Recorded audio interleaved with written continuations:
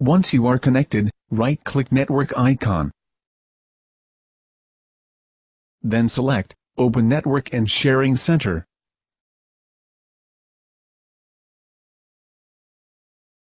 Click Local Area Connection.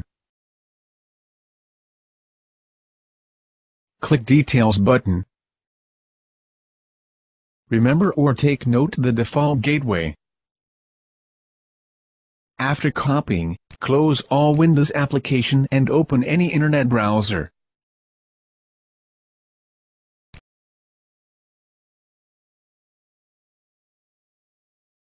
In the address bar, type the default gateway that you copied earlier. The router administrator box will pop up. Under the username, type admin as username login. In password, type admin. Click login button. Once you are in a router settings, click Mode tab. Select 3G wireless router mode. Then click Apply button. And click Return button.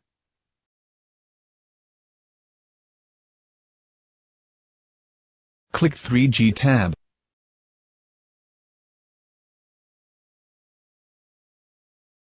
In APN menu, type http://globe.com.ph.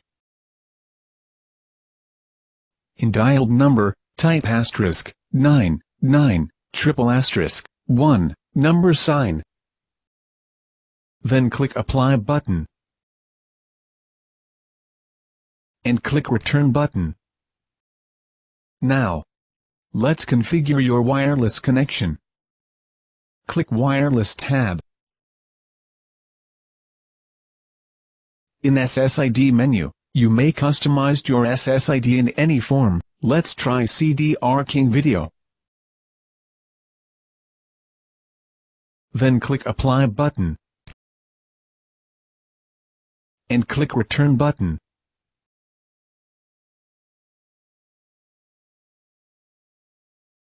To configure the security settings, click Security. In Security Mode menu, you have four options to select, let's try WPA2PSK.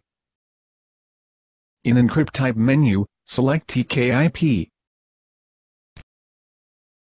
In WPA-PSK key, you can customize your password, let's try Wi-Fi video.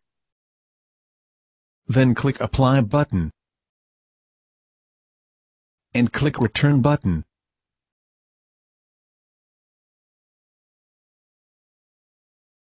To check the status of 3G connection, click Status tab.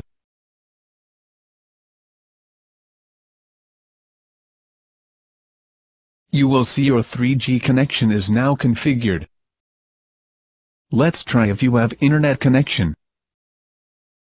Go to the address bar of your internet browser, and type any website.